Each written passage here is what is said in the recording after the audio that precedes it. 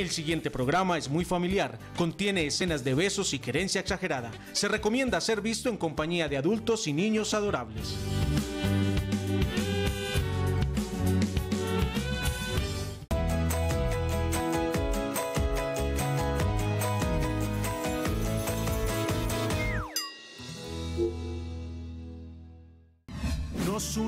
En un arrullo para abrir juntos un camino. Yo te ayudo a empezar el tuyo, tú haces más feliz el mío. Y entre dudas, llanto y caídas, entre risas, besos y abrazos, juntos nos gozamos la vida paso a paso, construyendo desde el amor, paso a paso, para hacernos la vida mejor. Paso a paso. Está rico. Está rico ese dedo, Benjamín. Rico, para que todos se antojen no solo de chupar dedos, sino de la lactancia materna. Bienvenidos a Paso a Paso. Hoy arrancamos con Benjamín nuestro programa, nuestro saludo. Bienvenidos a todos los que están ahí frente a la pantalla del televisor, del computador, del celular, del horno microondas, de, de lo que tengan. Se vale para ver paso a paso. ¿Qué vamos, ni bien o qué? Hola, le, le Ah, qué luce, le Ah. luce. ¿Cierto que sí? Sí. Sobre todo por los crespos, ¿me parece? Pero la camisa de cuadros, sí, Súper. Están muy bonitos y eh, Benjamín es nuestro invitado especial hoy. Ah, conoceremos la historia de Benjamín y su madre, eh, dedicada hoy a la lactancia materna. Hoy comienza la Semana Mundial de la Lactancia Materna y entre otras muchas cosas aprenderemos pues el porqué de esta semana y cuál es su razón de ser, qué se busca, qué eventos hay en la ciudad y por supuesto ahondaremos un poco más en el tema de la lactancia materna porque de este tema siempre hay dudas, las mamás siempre tenemos dudas con respecto a la lactancia. Eh, cuando uno es primerizo por primerizo y cuando es segundizo por segundizo. Ah, sí, Y tercerizo y cuartizo. y así sucede con la lactancia, así que bienvenidas las dudas, inquietudes. Aquí comenzamos de nuevo a dar este paso para ir entre todos tejiendo hogares. La lactancia materna, un tema del que se pueden hablar siempre, muchísimas cosas, todos los beneficios que tiene la lactancia materna, no solo durante la edad, la, la niñez de los niños, sino que cuando uno crece, listo, Benjamín, se acabó la moneda, ya quiere bajar Benjamín, todo, todo. Puede haber muchas cosas, habrá leche de fórmula, pero ninguna leche de fórmula tendrá el amor, el poder, los beneficios que tiene la leche materna, que ese es nuestro tema de hoy. Ya lo dijo Mónica, la Semana Mundial de la Lactancia Materna. Hay mucha programación. Si ustedes quieren conocer más y ya han participado en años anteriores de esta semana, eh, si tienen récord en hacer lactancia materna, llámenos, cuéntenos, pregunte. 268-6033, nuestra línea en paso a paso. Yo creo que el récord se lo dejamos hoy a la vida real. Eh, yo, yo- tengo que averiguar, Moni, porque sí. pe- Pero contamos ya no ahorita, ahorita les damos el dato. O sea, nos borra Porque a si todas. es mucho tiempo. Sí, es mucho tiempo. Pero ahora se los damos. Primero, como siempre, vamos a conectarnos desde el alma y desde el corazón, particularmente cuando hablamos de este tema de lactancia materna, se mueven muchas fibras en todas las mamás, en las que lo hacen por esa conexión y ese vínculo que eso supone, todos los sentimientos que se mueven eh, en esa madre y en ese bebé durante la lactancia, y en las que no lo hacen, eh, ya sea porque se dan látigo o por haber decidido no hacerlo o por haber hecho de todo para lograrlo y no haberlo hecho. Entonces, de una u otra manera, este tema mueve sentimientos y mueve fibras y vamos a empezar a conectarnos con este video que les trajimos hoy. Ya regresamos. Hace que todo valga la pena. Por eso estamos aquí. Esa es la razón de ser de este paso a paso también. Nuestros hijos, su formación, su crianza, la convivencia en familia con todos ellos. Y por eso cada día echamos una cantidad de herramientas en esta maleta grandísima, esta pañalera de conocimientos, de experiencias para tener de dónde sacar. Así que bienvenidos una vez más. Eh, hoy le rendimos homenaje a la lactancia materna en esta Semana Mundial decretada por la OMS, Organización Mundial de la Salud, de la que muchos países, como su nombre lo dice, es mundial, pues se han pegado y se han comprometido. Literalmente, se han pegado. Se han pegado, literalmente. Y pues más allá de, de unirse a esta conmemoración y de promoverla eh, eh, de palabra, eh, lo hacen con hechos. Y en nuestra ciudad eh, hay un movimiento fuerte en pro de la lactancia materna y hay actividades programadas durante esta semana y de eso eh, vamos a contarles más adelante. Por ahora, una super vida real.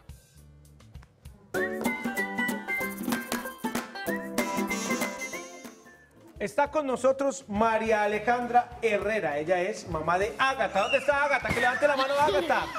Va a llamar a lista. Isaac. ¿Dónde está Isaac? ¿Cuántos años tiene Isaac? Tres años. Ágata, ¿cuántos años tiene? Seis. Seis años. ¿Y Benjamín? Benjamín, eso yo, eso yo, de 18 meses. Benjamín, bienvenido. María ¿Cómo estás? Bien, Bienvenida. gracias, muchas gracias. Pues yo, Leo ahora decía que si Gui- eh, Guinness Records de lactancia y lo buscó incluso. no, pero no encuentro, no hay un récord de la mujer que más leche ha donado, pero no una mujer que haya durado más tiempo lactando sus Yo hijos. leí Digamos que es como muy diferente, Yo he leído una de ocho años más o menos. ocho años lactando. Sí. O sea que vamos a batir ese vamos récord. pisando Tú, los tú llevas talones. seis años. Seis Ocho o nueve años, yo- lactando yo llevo seis años. Ininterrumpidamente. O sea, yo le hice la pregunta, o sea, son seis años seguidos. Pero- sí, sí. María Alejandra, pero uno después de lactar seis años seguidos, ya uno puede sacar una marca de leche con denominación de origen, así con el bocadillo de leño, sombrero volteado, ya. Bueno, en mi caso será leche coserrera de pronto. Puede ser, ¿no? Dios mío, ¿eso cómo Mucho ha tiempo. sido? ¿Cómo inició Bueno, tu a ver. historia de lactancia? Mi historia de lactancia comenzó con Ágata. Ágata ya tiene seis años y un poquito, seis años, cuatro meses, o sea que son seis años, cuatro meses. Seis años y cuatro meses para ser más exactos. Sí, yo creo que la lactancia comenzó realmente desde antes. O sea, yo puedo decir que desde que soy chiquitica quise amamantar a los hijos que fuera ¿Te teniendo. amamantaron a ti? A mi mamá, mi mamá sí nos amamantó a los hijos, a los tres que tuvo, no mucho tiempo. Pero hizo algo muy bonito con nosotros y fue concientizarnos frente a la lactancia. Tiene una gran amiga que es nuestra sensei, por decirlo de alguna forma, en nuestra familia la queremos mucho, se llama Amparo Jaramillo. Y Amparo, Amparito, fue- claro. Amparo Me Jaramillo. imagino que así le dicen a todas. La cosa es que Amparo Amparo- es una de las fundadoras de la Liga de la Leche acá en Medellín, entonces sus hijos ya son pues de la edad de mía, mayores. Y mi mamá siempre nos, nos, digamos, nos incitó a que conociéramos acerca de la lactancia. Entonces yo puedo decir que, el- que la historia de la lactancia viene desde antes, mi primer sobrino ya tiene 11 años, 12 casi, y fue amamantado por mi hermana menos tiempo, el- la segunda un poquito más, digamos que ha sido algo familiar. Ya con mi caso espe- ya específico, pues están viendo a Agatha, tiene seis años, ya no toma leche. Si me preguntan que soy seis años de que ella toma leche, no, pero toma hasta los cuatro y medio, ¿cierto? O sea, yo no he parado porque en los embarazos nunca dejé de O sea, amamantar. lactaste en simultáneo seis meses a Ágata y a. Se me fue el nombre. Sí, Isaac. Y a Isaac. Eso se llama lo que aquí, programa que hicimos, lactancia en tándem. Exactamente. Y y durante de- seis meses la hiciste. Y de ahí ella dejó. No, a los- porque mira que es que Ágata, Ágata tiene cuatro y medio, se lleva dos años y medio con Isaac. Entonces ella siguió, Ajá. siguió durante el Ah, bueno, embarazo y mientras, y mientras sí, duró mucho tiempo más. O sea, es que realmente Ágata se destetó en el embarazo de Benjamín. Ok. Entonces, en el embarazo de Benjamín, ya yo entré en un proceso diferente con ella, diciéndole, bueno, Ágata, ya, ya si no quiero yo más, creo que ya no lo necesitas, ya si fue una cosa, ya era una niña de cuatro años y medio, o sea, ya era distinto. Naturalmente, ella eh, tomaba ya muy poco. Realmente la lactancia en niños más grandes, al menos en el caso de mis hijos, es que ya mientras han estado más grandes y como son Benjamín, Isaac y Ágata, eh, toman muy poco. Eh, Isaac toma un poquitico en la mañana, es como recién se levanta el calorcito de la mamá, eh, recién llega del colegio, como ha estado todo el día sin mamá, entonces ve y me busca un momentico. Si tiene algún golpe, alguna cosa, él ve y busca mamá. Entonces toma un poquitico de un lado, un poquitico del otro y ya. Mamá, un poquitico de lechitas. Bueno, pero si entonces la historia se va a repetir con Benjamín, van a ser cuatro años de lactancia, es decir, unos tres años más, vamos a hacer récord, nueve por el años récord, de vamos por el lactancia récord. ininterrumpida, le esperan. Vamos a ver él cómo, cómo reacciona, porque probablemente a ella le toque una mamá que esté trabajando más, probablemente le toque una mamá que ya lleve tanto tiempo amamantando, donde ya dentro de un año le diga, bueno, Benjamín, creo que ya por ahora no más, ¿Te- pero igual ¿Te creo imaginas que es tu el vida proceso. sin lactar? Sí, claro que me la imagino. ¿Te la ¿Y sueñas? la deseas también? No, o no, no ¿O la deseo, no, no la deseo porque yo con mis hijos he sentido que se vive un proceso, un día a día y un paso a paso, como dicen ustedes.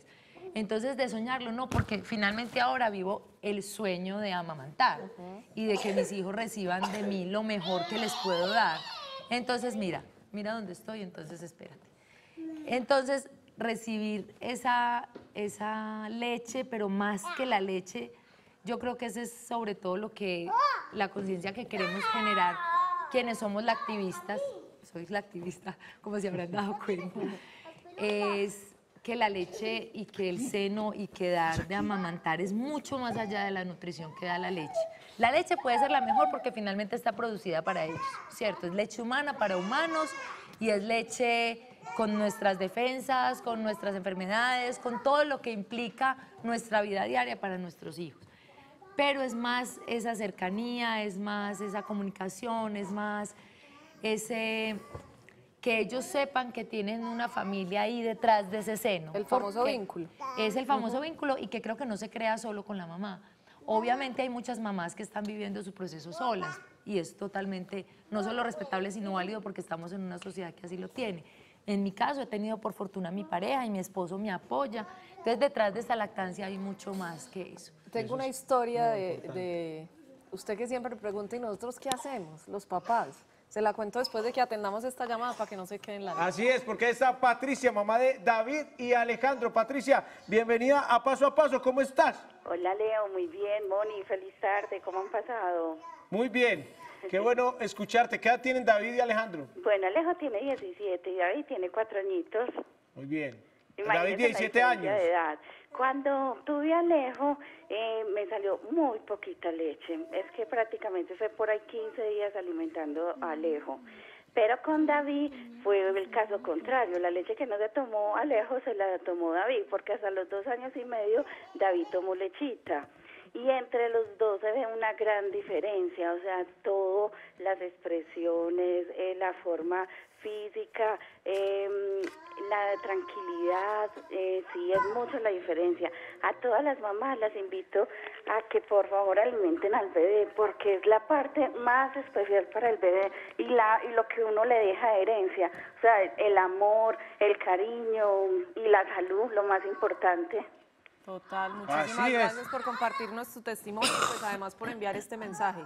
Imagínese, Leo, que conocí la siguiente historia. Cuente, a ver, cuente. En este caso, eh, eh, pues eran pareja y el obsesionado por lactar era él. Pues a ella ni le iba ni Sí. le venía. Pues a ella le daba lo mismo un tetero. Y él le pedía, por favor, aliméntalo, por favor, por favor, por favor. Entonces ella, pues con mucho esfuerzo, lo logró hasta los seis meses de Sí. lactancia exclusiva.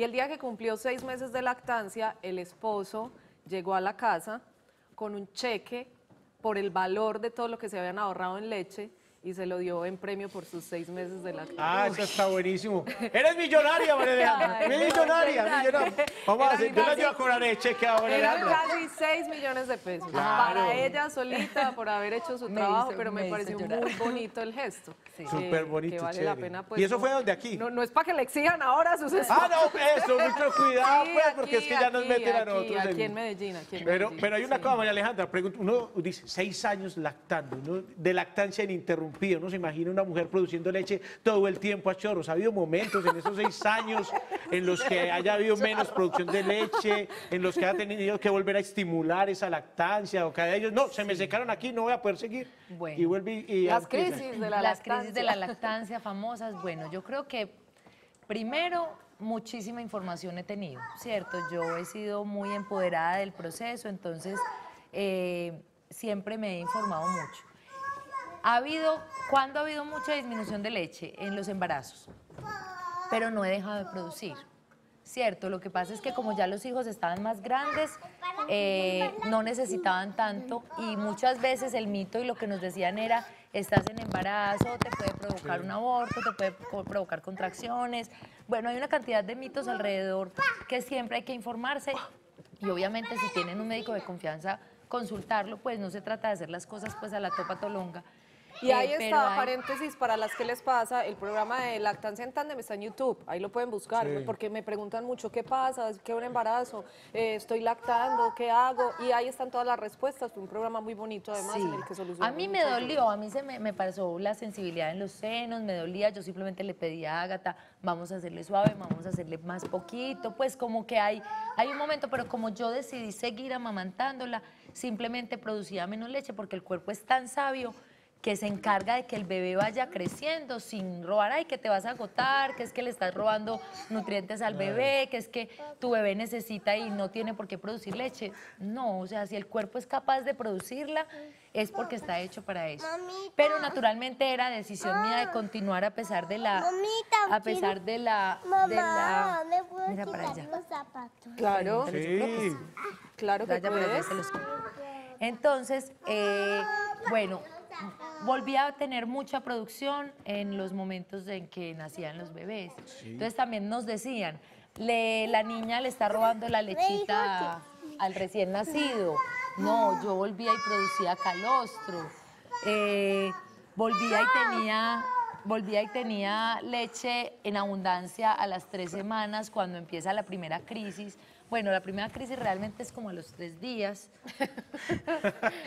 porque es que ahí vienen es- esos procesos de lactancia en los cuales la gente deja y abandona la lactancia por temor, por, por mitos y hay, hay días muy claves. O sea, el tercer día es súper clave porque en tres días no te llega leche, te llega un tres goticas, entonces que el niño está con hambre, que es el calostro y a los tres días se te ponen esos senos, mejor dicho, al menos a mí me pasó, todas las mamás son diferentes.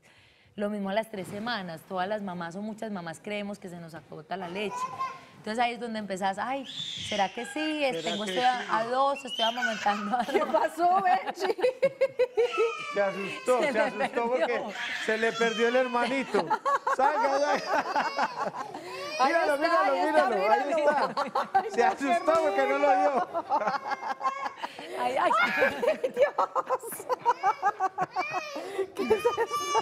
Ágata, Ágata, ¿por qué me tiró así, Ágata?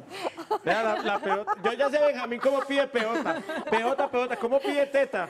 ¿Ah? Teta, Teta, lechita, A la pelota, mamá. tranquilo. ¿Qué ha sido lo más duro? Es que yo me pongo a pensar y son seis años, yo hacía la cuenta hace poquito con Florencia y yo decía, son casi 600 noches, todas las noches, y dele, yo quiero una noche dormir sin tener que dar teta. Lo más duro son los pospartos, porque yo creo que el proceso de posparto en general en todas las mujeres es un momento lleno de muchísimas emociones, buenas, duras, hermosas, de dolor, ¿cierto? Entonces, entonces yo creo que todos los pospartos, los tres pospartos que he tenido pueden haber sido los momentos más duros. Noches en las cuales se quiera dormir más, sí, yo creo que es un asunto como de asunción, pues eh, desde que soy mamá asumí que por un tiempo de mi vida mis noches iban a ser in- ininterrum- Un tiempo perdón, son- interrumpidas. Un tiempo llevamos seis años, Seis sin años. una noche de no, eso ha habido algunas, porque que ellos se quedan dormidos y por ejemplo el pequeño que, que pide leche, pide en la noche un momentico, me lo pongo al lado y yo vuelvo y me quedo dormida, pues yo me profundizo inmediatamente. Pero hay despertada. Hay Sí. despertadas, sí, pero Sí. igual ellos también se despiertan y todos se despiertan, lo que es que no se acuerdan. Lo que pasa es que en seis, eso, en seis años ya también has desarrollado una técnica y una... Sí, pues es un asunto Es más de berraca. convencimiento. O sea, yo creo que es un asunto de que yo sabía que por un tiempo eso iba a pasar. Ya están un poco más grandes, ya sé que en algún momento yo los voy a eh, dejar con alguien cuidando para yo irme a bailar o a dormir un poquito más. Pero hay noches que se duerme muy bien. Yo hay noches que duermo muy bien. Las mamás tenemos el oído afinado para que ellos hagan "Ah", y los oigamos. Eso se llama un estado de hipervigilancia. Lo sí, vimos aquí alguna y vez. pueden no estar amamantando. O sea, a veces Más o menos el estado en el que estoy yo en este momento con Benjamín. Más o menos. Benjamín a veces se puede quedar cuatro o cinco horas sin despertarse, pero alguno de estos hace y ya estoy. O Isaac, como está en control de esfínteres, se despierta sin saber que tiene pipí, me toca igual pararme pues o al esposo a, a llevarlo al baño. Entonces, no sé, yo creo que son, es como la vida la tome uno, ¿cierto? y, y si estoy convencida que es lo mejor para mis hijos, sí hay momentos duros, claro que sí, yo no los niego, la lactancia es un asunto de perseverancia, es un asunto de tenacidad, de terquedad, pero yo creo que es más Pero paterca la más. Total. Seis años. Qué súper testimonio para iniciar esta Semana Mundial de la Lactancia. Pues creo que queda claro el mensaje. Eh, pues cada uno a su manera, cada uno con sus tiempos. Obvio, a muchas nos parecerá un montón seis años, a otras dos años, a otras los seis meses dirán, no, esto es lo máximo que yo doy. Pero cada uno en sus tiempos, el mensaje que siempre enviamos aquí, esto dura un ratico, que nos lo acaba de decir María Aleja, no es para toda la vida. A los 10 años no van a estar lactando, a los 10 años no van a estar usando pañales, a los 10 años no se van a estar despertando en las noches, eh, no nos van a pedir que los acompañemos, no nos van a pedir tantas cosas que disfrutemos la hora que podemos. Así que María, muchas gracias. Un testimonio muy bonito para conmemorar, para celebrar la Semana Mundial de la Lactancia, de la que seguiremos hablando al regreso de esta pausa, a la que nos vamos con... El dato. Aquí les contamos de más de la Semana de la Lactancia en paso a paso. Del primero al 7 de agosto se celebra en más de 170 países la Semana Mundial de la Lactancia Materna, destinada a fomentar la lactancia materna o natural y a mejorar la salud de los bebés de todo el mundo. Ya seguimos en paso a paso, no se muevan, ya volvemos con Benjamín.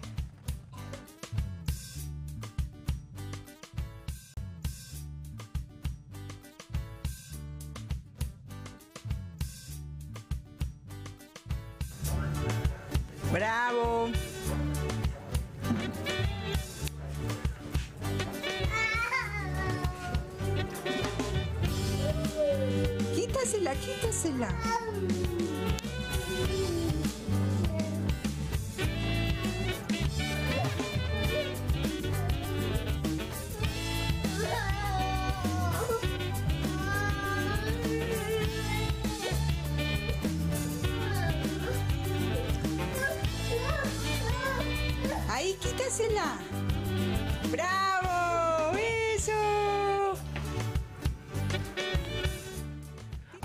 Le quita la pelota a su mascota, mi Benjamín me las tira aquí en paso a paso. Ese es nuestro mamarazzi. Recuerden enviar sus videos y fotografías a paso a paso arroba.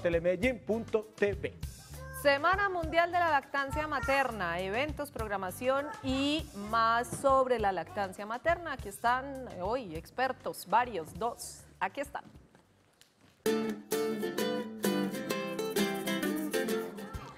Con nosotros está Carolina Gómez, ella es nutricionista, dietista, eh, consultora internacional de lactancia materna, además viene de parte del Comité de Lactancia Materna de Medellín, y Camila Gaviria, directora de Buen Comienzo. Camila y Carolina. Así es. Bienvenidas. Muchísimas De nuevo a paso a gracias. paso. Muchas gracias por estar acá. Bueno, cuenten a ver, esto de la Semana Mundial de la Lactancia, ¿a quién se le ocurrió? ¿Hace cuánto tiempo se conmemora? Pues mira, esto se da después como respuesta a algo que se viene gestando entre UNICEF cuando sale el Código Internacional de Comercialización de Sucedáneos, que es el que vigila que se cumpla como la reglamentación para poder comercializar pues, las fórmulas, los teteros, todo eso. Y allí se dieron cuenta que la lactancia estaba bajando mucho y surge esta organización que se llama UAVA, pues que es como una asociación pro lactancia materna, sí, a nivel mundial. Y ellos empiezan a crear unos lemas para celebrar todos los años. Y se celebra desde El primer, ah, desde 1992. 92, bueno, ya van unos años creando conciencia. ¿Cómo estamos de estadísticas en Medellín? Bueno, en Medellín tenemos unas estadísticas un poco desalentadoras. Eh, según la ESIN, que es la encuesta de situación de nutrición, eh, Medellín tiene un promedio en lactancia de 0.8 meses, es decir, no alcanzamos ni siquiera a 0.8 llegar meses. al mes. Lo que decía ahorita la mamá, ¿cierto? Muchos mitos y hay muchos temas en las clínicas y en los hospitales que a veces no promueven eh, el proceso de lactancia materna. Y el empoderamiento también de la mujer eh, a veces no permite pues, que sea una, una lactancia materna exitosa. En el programa Buen Comienzo tenemos un promedio de 4.4 meses, lo que quiere decir pues, que todas las madres gestantes y lactantes que hacen parte del programa se han beneficiado, hemos aumentado, digamos que los índices de la ciudad de Medellín, pero todavía nos falta bastante.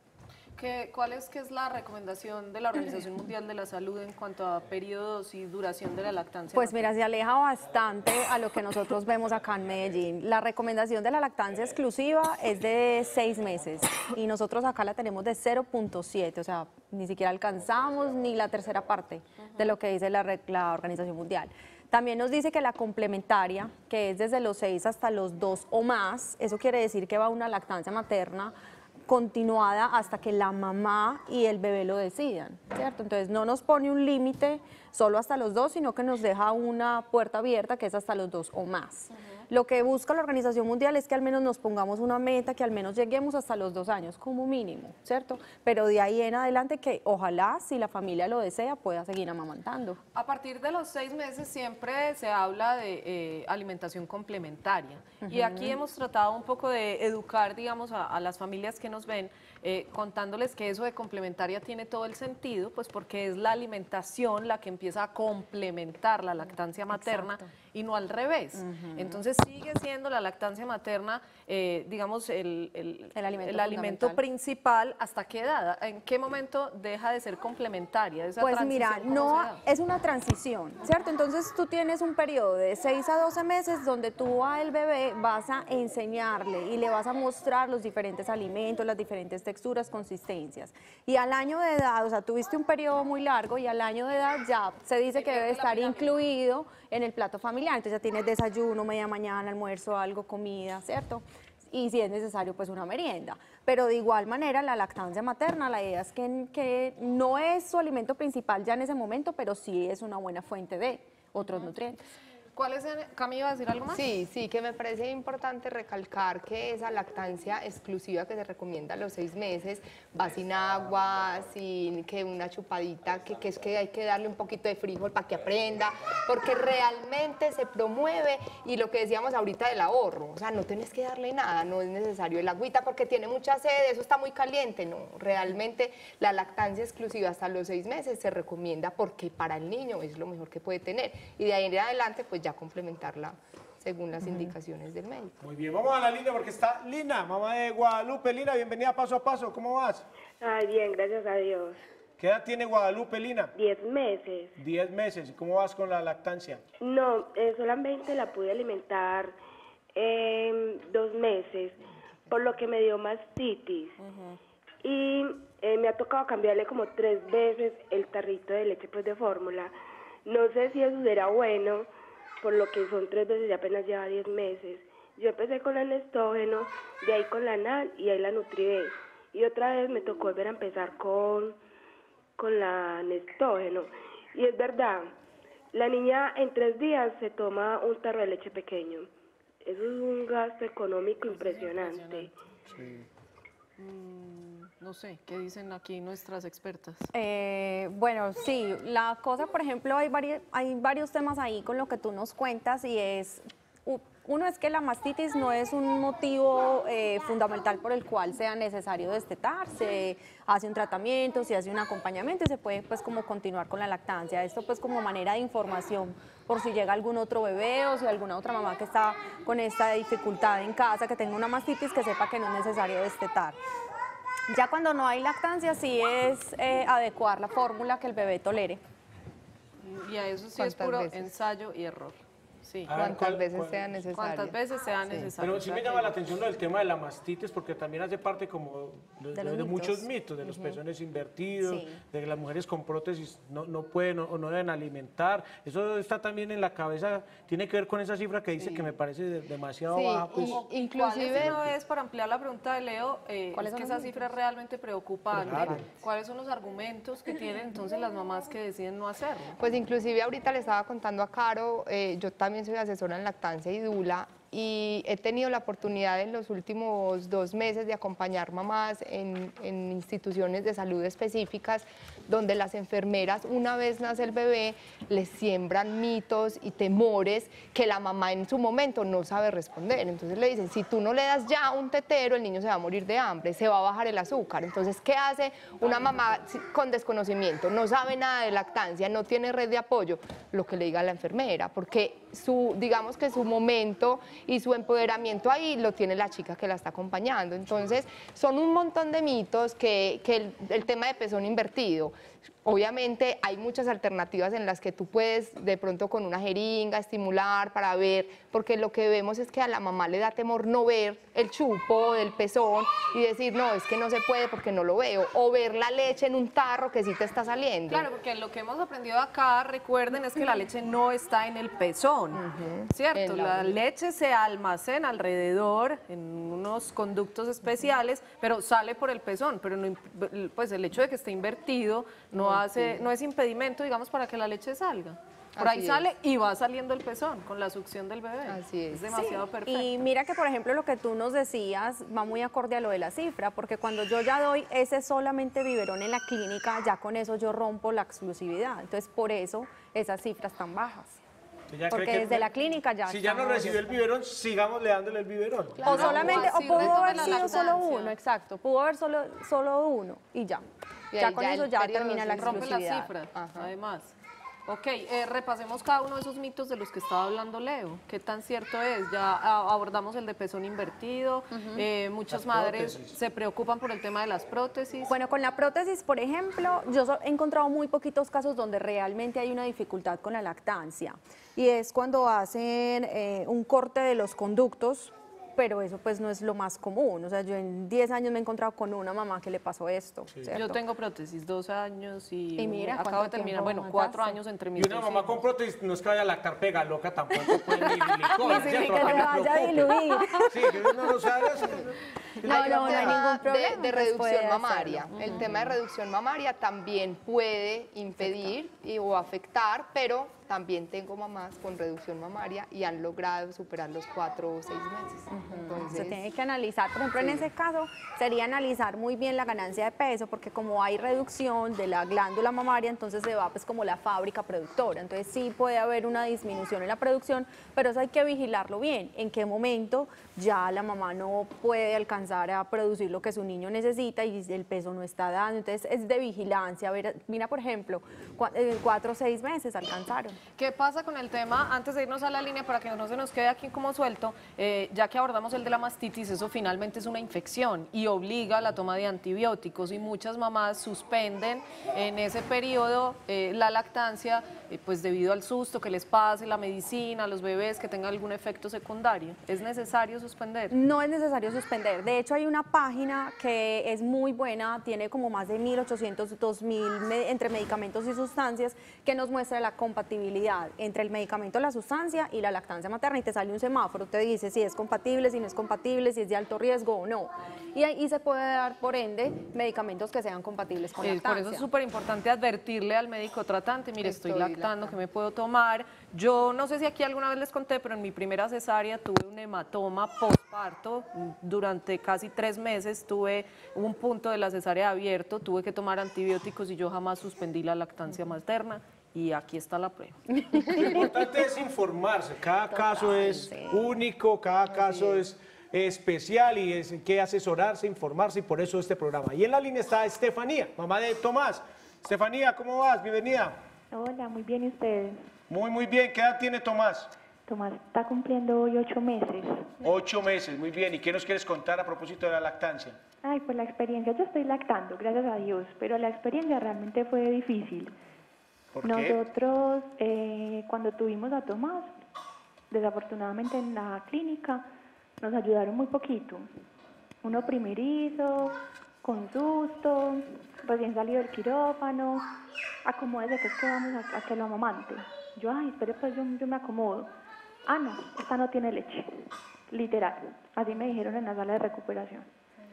Em, se me llevaron el niño para darle pues como lechita con, con jeringa y nos tocó pues como papá y mamá dándole pues lechita con jeringa. Pero yo soy testaruda, entonces yo dije no, yo voy a amamantar a mi bebé. Y me ayudó eh, una muy querida de, de paso a paso que fue Nora Leche, nos ayudó y arrancamos después del primer mes de Tomás a amamantar. Ella me decía, sí, ese niño está tranquilo, quiere decir que tiene lechita, no hay problema. Y ya llevamos, pues hasta hoy, amamantando normal, totalmente normal. También me dio mastitis, a los cinco meses más o menos, pero yo dije, voy a seguir amamantando. Pues nunca me he rendido pues como con ese tema de la amamantada y me da mucho pesar, porque conozco muchas mamás que, que, que sí- les pasa lo mismo, lo mismo que les pasa en el hospital, les dicen que no, no hay lechita y, y no, pues se van aburridos para la casa y a comprar leche de tarro. Es lo último que uno espera escuchar recién parido. No, no quisiera que le dijeran, Rendido. tienes un montón de leche, así no fuera cierto. Pero como siempre hemos dicho, la lactancia materna está aquí, la producción de la leche está aquí. Yo creo que si a uno lo abordan distinto, lo que decía Camila, pues uno se mentaliza y uno se motiva, pero pues eso de entrada, como cortarle a uno los sueños y la ilusión de la llegada de un bebé. Además que es un arma de doble filo, porque cuando nosotros estamos dando el biberón o esta fórmula en otro recipiente, nosotros estamos viendo lo que el bebé se toma. Entonces casi que le genera la necesidad a la mamá de ver cuánto se está tomando mi bebé. Y como nosotros en el pecho no vemos, y el bebé nunca se va a tomar lo mismo, no es lo mismo la toma de la mañana que de la tarde o de la noche. O sea, el bebé cambia la cantidad de, de leche que toma en cada una de las Y tomas. así no la sacáramos nos quedaría imposible saber, porque un bebé siempre saca más que un Claro. extractor, y entonces pues ¿cómo hacemos? Total. Ellos tienen la capacidad, también lo hemos dicho acá, de producir al mamar, ¿no? Eso es una de las grandes ventajas de la succión tan perfecta de los bebés, que producen mientras se está haciendo el proceso, lo que no hace el extractor. El extractor saca lo que hay y ya.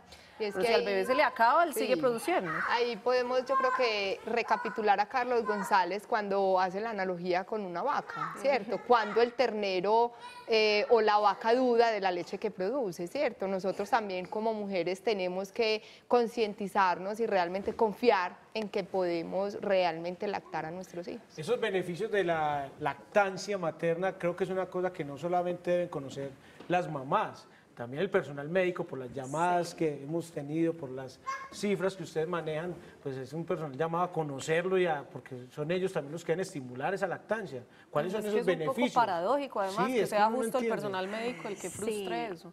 Pues en eso venimos en camino, sino que para cambiar la percepción y como, el, como las prácticas que se hacen en una sociedad no es tan fácil, no es tan rápido. Venimos trabajando, incluso con buen comienzo, también se hacen capacitaciones a personal de salud desde la Secretaría de Salud de Medellín. Se está buscando con las instituciones que quieren hacerlo, porque no se pueden obligar, pues, pues ahora pues no se han obligado. Con las instituciones que quieren adherirse a esto y llevar esta práctica, se viene haciendo capacitación a su personal, entonces enfermeras, pediatras, ginecos, Incluso yo tuve la oportunidad de trabajar con ellos hace unos años desde la Secretaría de Salud de Medellín, haciendo unas visitas médicas, vendiendo una, una leche, ¿cierto? Obviamente pues era la leche materna, y fueron más o menos 150, 200 entre enfermeras, jefas, pediatras y ginecólogos, donde se logró observar como el desconocimiento que se tiene sobre esta leche, o sea, cómo funciona, cómo varía a medida que el niño va creciendo. Pero es un trabajo que hay que hacer día a día, ¿cierto? O sea, es capacitación, pero también de parte de los funcionarios, como abrir la mente a cosas que pueden ser distintas a lo que, a lo que ellos venían Claro, y pensando. para ellos en una noche de turno puede resultar mucho más fácil decirle a la mamá, vea, vaya del un tetero que enseñarle a lactar, mostrarle cómo se debe pegar, o cuál es la posición correcta a las 2, 3 de la mañana, que sucede un parto inesperado, pero pues comprometidos un poco más allá con la causa, ese es el llamado. Dentro de esas razones, eh, ¿qué tanto afecta eh, la incomodidad, la vergüenza a lactar en público? Ese es, uno, ese es un punto que nada menos ahorita lo estaba hablando con la mamá, que cuando se les dice que son muy valientes, yo creo que la parte de valentía es más el enfrentar lo- las críticas de la sociedad o incluso la misma familia, que a veces las mira mal o a veces las rechaza, ellas se sienten avergonzadas de amamantar en público. Entonces nosotros estamos teniendo como un doble mensaje. Por un lado les decimos, sí, amamanten, promovemos la lactancia, pero no lo hagan público, ¿cierto? No se lo decimos directamente, pero sí es como la sensación Sí. que tiene la mamá cuando se tiene que tapar o donde tiene que amamantar solo en un lugar. O meterse al baño. una- Ugh, sí. ¿A quién- Pero, ¿A quién le gusta comer en un baño? Nadie. ¿Cómo vamos a, meter, a obligar a una mamá o a pedirle a una mamá que se meta al baño a amamantar a su hijo? Sí, ahí, ahí hablamos de un tema también cultural, ¿cierto? Lo que decía Cara ahorita, cambiar esa mentalidad toma tiempo. Y, y- y como decía la mamá, somos lactivistas, porque yo también me considero así. Y en el círculo en el que me rodeo trato de que toda la madre que esté en gestación, pues informe mucho más sobre la lactancia. Y también son decisiones propias. Muchas veces la madre por vergüenza, porque culturalmente, digamos, no se siente en capacidad de hacerlo en público, porque también, bueno, hay gente que no es capaz de hacerlo, pero entonces dele la lechita, salga y después vuelva. No, yo mejor se la llevo en el teterita para darle el tetero en el centro comercial. Pues dile antes de salir y cuando vuelva le vuelve a dar. Pero, pero sí es invitar a que no solamente por no hacerlo en público, entonces evadir la lactancia materna. Hay una cosa... un poco envalentonarse, ¿no? Por los hijos, lo que sea. Así que, ¿qué es esto? ¿Alguien la les prendieron el extractor? El extractor, sí, como para 20, ¿vale? Eso de parte de la... Sí, a veces vencer esa barrera y, y bueno, es por los hijos lo que sea. Eh, y ay, perder un poco la vergüenza, pues no estamos haciendo nada malo, de hecho estamos haciendo algo muy bonito eh, y eh, yo no sé si a Cami le pasó, porque pues yo era así como Cami, cero pena, donde fuera, la hora que fuera, como fuera, las veces que fuera, y uno a veces se encuentra con que le da más pena a la gente que lo vea a uno sí, lactando que a uno sí. mismo, entonces ellos solos como que voltean la mirada y ya pues uno ofrezco, pues Y yo lo estoy más en lo mío. es cuando, Sí. cuando la pareja de uno empieza, mira, ese día ya está impresionada, mira, qué risa como te está mirando. Y yo, pero te da pena, no, nada, no importa, primero el niño, primero el Sí, niño. sí, Entonces primero ya, el y uno va cogiendo confianza, canchita, y ya después ya no le importa. Donde sea. Nos vamos a ir a la pausa a propósito de Carlos González. Aquí está la frase y ya volvemos con programación. Ustedes que van a lactar, que quieren lactar, que están lactando, que son lactivistas. Programación de la Semana Mundial de la Lactancia al regreso en paso a paso. Aquí está la frase. Dice nuestra frase, si existiese una vacuna con los beneficios de la lactancia materna, los padres pagarían lo que fuera por comprarla. Lo dice Carlos González. Ya regresamos a paso a paso.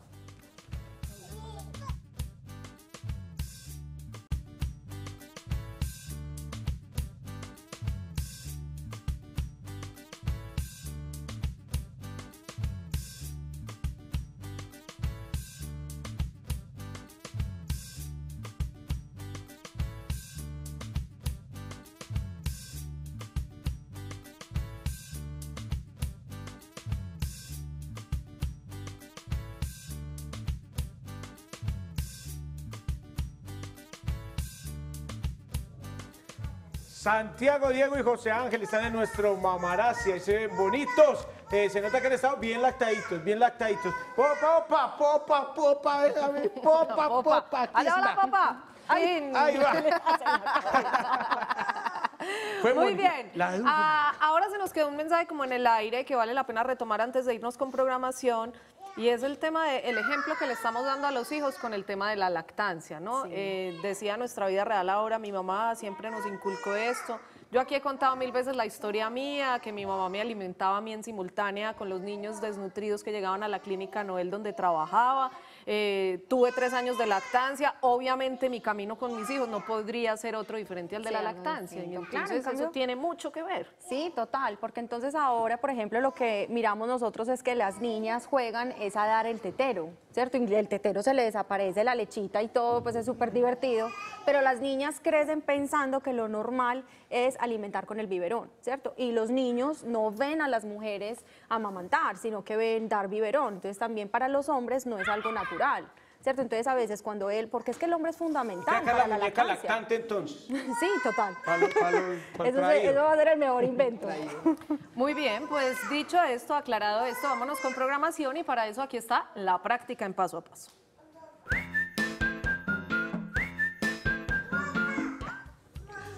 Bueno, ¿qué eventos hay en esta semana para las que nos gusta promover la activista 100 o las que vienen en camino y quieren lactar y llenarse de información, sentirse acompañada, encontrar grupos de lactancia que puedan apoyarlas, asesoras y gente que se mueve en este gremio pro lactancia? Claro que sí. Bueno, eh, vamos a empezar este, este jueves con un foro, que es el foro de lactancia materna, se llama Tejiendo Redes. Eh, es un foro que va dirigido a profesionales del área de la salud y como estas instituciones que acompañan las mujeres en este periodo. Es este jueves 3 de, 3 de agosto, es desde las 7 y media de la mañana hasta las 12 en el auditorio del Hospital General de Medellín. Así es, y el 4 de agosto tenemos la Lactatón en compañía de Fundación Éxito y la Fundación Golondrinas. Vamos a estar en el éxito del poblado eh, acá en la ciudad de Medellín, eh, teniendo un evento muy bonito que va a ser la Lactatón, donde nos van a acompañar eh, más de 500 familias y allí los invitamos Pero, también ¿En a qué todos. consiste la lactatón? Bueno, ahí mujeres vamos a lactando ahí. inscribirse y Así si hay es, no hay que inscribirse, es completamente gratis, pueden llegar allí. eh, digamos que más que el tema de cupos, vamos a tener un espacio de buen comienzo para eh, trabajar con los niños de primera infancia, estimulación, desarrollo, enseñarles diferentes actividades a las madres y vamos a tener un espacio donde vamos a convocar a todas las familias a lactar para pues tener la lactatón y contarles a todos de los beneficios Y de uno la puede ya de pronto al hijo de uno para que lo lacten ahí pues y le colaboren con la alimentación un ratico, no, no puede. Se consigue, se No, consigue. Ay, ay, consigue. ay, Sí. Cierra los ojos, cierra los ojos, cierra los ojos, ¿quién cierra llegó? los ojos. Mira para atrás, mira para atrás. Ay, no, qué- Mira para atrás, ¿quién llegó? Ay, mírala. Estás en Feria de Flores. Bienvenida. Una paso a foto paso. tuya. Iba a mostrar justo una foto de Flo, la estaba buscando aquí. Yo no sé si cuál cámara la la, puede coger. Miren a Florencia lactando al niño Jesús. Ah, a eso jugaba Flo con sus muñecos. bien. Mira, Yo veo, mami, yo veo. ¿Te acuerdas cómo le dabas teta al niño Jesús? Sí. Tiene Como la leche del seno de Abraham, pues más o menos. Ahí estaba, a eso, a eso ha jugado ella siempre con sus muñecos y le daba teta, pues obviamente ella hacía lo mismo que yo hacía con ella, con todos sus caballos, animales, dinosaurios, a todos los lactó. Bueno, y Hasta el ahí, niño Jesús. ahí es bonito decir que cuando la niña tiene la posibilidad de jugar a lactar, el niño también, ¿cierto? El niño, lo que les contaba ahorita, en mi casa, yo tengo un hijo de dos años y de regalo a mi mamá le pedí una muñeca. Y jugábamos a que él traía la muñeca y acompañaba que yo le diera lechita a la muñeca y él acariciaba la muñeca mientras yo le daba leche. Claro, y mi hijo Entonces, mayor, al verme en este proceso, un día también me dijo, mamá, yo quiero. Mamá, yo quiero fue que no le salió, porque obviamente se le olvidó la succión y bueno, eso no es tan fácil, pero pues ahí ensayó, igual que un día me pidió una cocina de, de regalo, que quiero una cocinita, pues quiero aprender a cocinar. Es que ellos van viendo y van siguiendo como el ejemplo. Yo digo que definitivamente el ejemplo es clave en todo esto. Más eventos esta semana. Más eventos, Sí, hay más tenemos eventos. entonces el 12 de agosto la Feria de Lactancia Materna, que Caro nos cuenta pues un poquito más. El programa Buen Comienzo va a estar allí con el Comité de Lactancia, entonces eh, la programación será en el Museo eh, de Arte Moderno en, en Ciudad del En Río. Zona La Hoja, sí. Vamos a estar ahí atrás. La verdad es un evento muy, muy bonito. Va a estar ahí puestas en escena, hay shows, hay música, hay rifas, van a haber pinturas para niños. Yo voy a Y- estar. Sí, va a estar súper a bueno. estar también. Es en el es la mamás en el exacto. Ahí está Del toda la Sí. información, las empresas que además apoyan este evento. Eh, vamos a mover esta imagen también en nuestras redes sociales para que la puedan ver con calma, detallársela y pues animarse a ir ahí a Ciudad de Río, justo donde termina ahora Plaza de Flores, porque es una semana después de feria. Así Sí. es, el 12, el 12 de agosto estamos eh, esperándolas a todas y a todos. Chévere, un picnic ay. con leche materna. a mí nunca me pasa. Está bueno. Un periquito, Leo. Sí. Está bueno. Eh, hay, hay estadísticas de cuántas madres hay en este momento lactando en la ciudad, eso se cuenta, eso se sabe, Bueno, se reportan, hay grupos de nosotros- apoyo. Nosotros en el programa Buen Comienzo tenemos, digamos, la capacidad para recibir cierta cantidad de madres. En este momento estamos alrededor eh, de 5 mil madres lactantes que hacen parte del programa Buen Comienzo. Pero todavía hay capacidad para recibir más o estamos full. Todavía tenemos Genial. capacidad de recibir muchas más madres gestantes y lactantes. Los invitamos a que nos sigan en nuestra página de Facebook, Programa Buen Comienzo, y encuentren allí la información para inscribirse al programa. Recuerden que es eh, completamente gratis el programa Buen Comienzo para toda la ciudad de Medellín. Simplemente deben tener eh, la encuesta de Cisben y con esto ya tienen el acceso Y concretamente asegurado. relacionado con la lactancia, ¿qué, qué, qué hacen? Te- ¿Qué les tenemos entonces en entorno familiar tenemos eh, tres encuentros que realizamos El primer encuentro trabajamos todo el proceso de desarrollo y estimulación, acompañamos a las familias en este proceso. Otro que es de nutrición, donde ahí digamos que trabajamos todo el tema de la lactancia materna y el tercero es creciendo en familia, que son temas de crianza. Además hacemos visitas en el hogar. Estas a mí me encantan porque podemos conocer el contexto de la familia y acompañarnos a tener una lactancia materna más exitosa. Entonces, no se lo pierdan para Yo que sean para los beneficiarios. papás con el tema de la lactancia. Pues porque Leo siempre sabe que, bueno, ¿y uno qué hace? Y está lactando y uno, No, pues uno puede ayudar a promover. Uno por la lactancia materna tiene que volver una teta diciéndole a todo mundo, hay que lactar. hay que Ah, lactar", y yo pero vuelvo y, hago- hago la, y yo vuelvo y hago la salvedad. Ahora no es que van a ir a pedirle cheque al esposo de lo que se ahorraron en leche. Fue un gesto muy bonito que les quise compartir, pero no, ex- no tengan esas expectativas porque no, pero- todos son así. Pero el cheque puede, no puede no ser con pesos, que sea con besos, que sea con besos en vez de pesos y funciona. Pues bueno, la verdad, el papá es fundamental, porque nosotros incluso en la lactancia generalmente siempre tendemos a hablar de la mamá, mamá y bebé, mamá y bebé, pero la verdad el papá, o si no está el papá, el acompañante es fundamental en la lactancia, porque es que sin el apoyo de esa persona es, sería muy duro para la mamá. Porque, por ejemplo, cuando van a salir, el papá, si no apoya y el papá se siente incómodo con el amamantar, pues es él quien va a estar diciéndole, no, vamos a destetar, destetemos, destetemos.